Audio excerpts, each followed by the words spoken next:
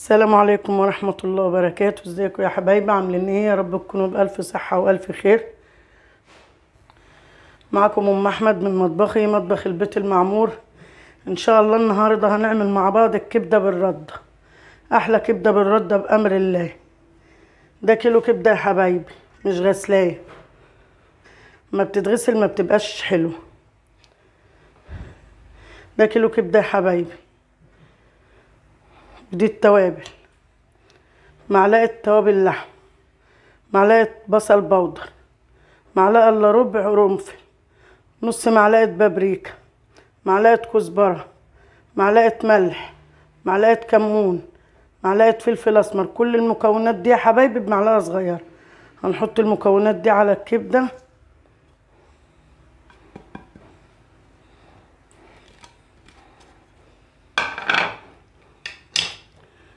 ونحط يا حبايبي أنا مقشرة راستم كاملة. آه.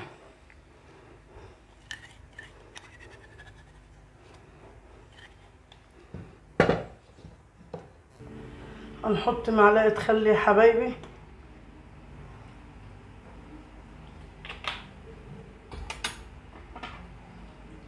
هنحط ليمونة.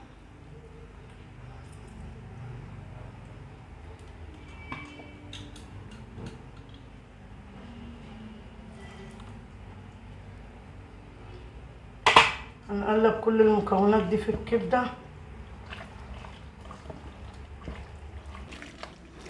هنسيب الكبدة دي حبايبي في المكونات دي ساعة. وارجع لكم. ودي يا حبايبي الكبدة بعد ما حط سيبناها في التوابل ساعة. كوباية إلا ربع دقيق. كوباية رده كبيرة.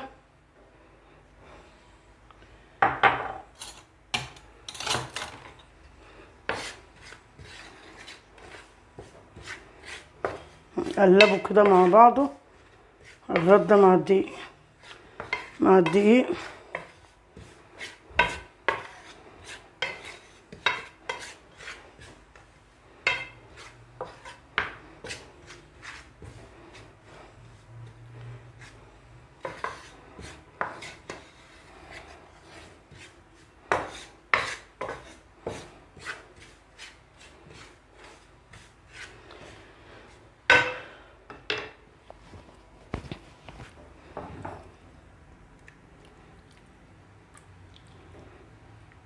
دلوقتي هنحط الكبدة كده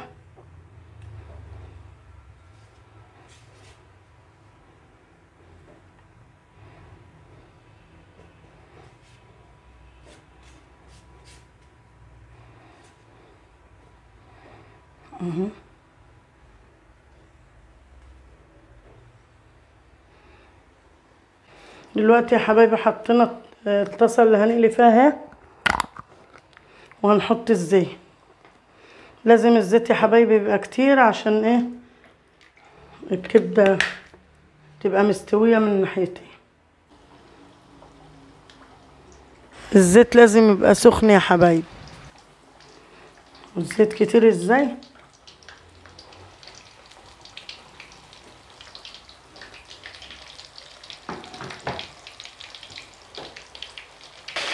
دلوقتي يا حبايبي هنقلب الكبدة. دلوقتي يا حبايبي الكبدة اهي. بصوا لون الكبدة عامل إزاي. لون الكبدة عامل إزاي. فاتح وجميل. هنطلعه دلوقتي على مناديل المطبخ يا حبايبي.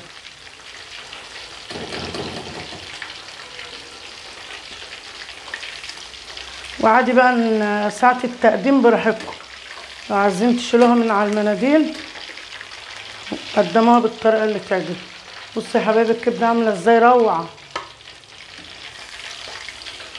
بصوا اللون روعة والطعم والريحة قلب المطبخ.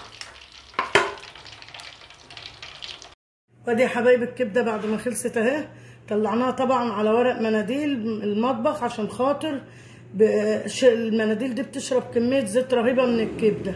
وطريقة التقديم بقى بالشكل اللي يريحكم والشكل اللي يعجبكم. روعة روعة. ولو عجبكم الفيديو يا حبايبي ما تنسوش تدعمونا ب like و share واشتراك للقناة. وبدعواتكم يا حبايبي بحبكم في الله.